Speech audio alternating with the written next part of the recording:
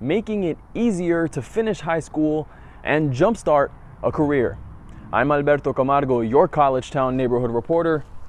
One of the many bills on the desk of Governor Ron DeSantis could bring people who didn't finish high school into College Town for free. I'm digging into what this program is and how it could help get more people back in school. The National Dropout Prevention Center says four of the top 10 reasons students leave high school are family or work related. The graduation alternative to traditional education, or GATE program, could get those students back in the classroom.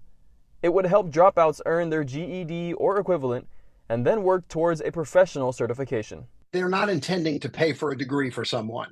What what the what the bill is intended to do is give students give the students who are struggling a jump start, if you will. Dave Barnes is a project coordinator at ASA Florida, which represents the teachers of adult students. Barnes says the GATE program would work less like a scholarship and more like a fund for students who qualify for GATE. Know, these are students who traditionally haven't been successful in, in a traditional education setting. So they're a little gun shy in terms of, of their confidence.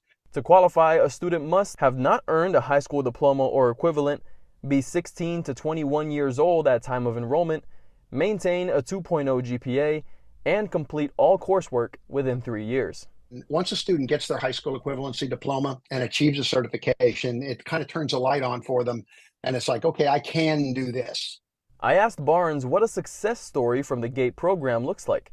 He says it's all about getting them back into the swing of school and helping them find their path forward. The end goal is to kind of give them a taste of that success because there are certifications beyond the initial one that they might achieve. The GATE program bill is only waiting on the governor to sign it into law. The program would go into effect on July 1st. In College Town, Alberto Camargo, ABC 27.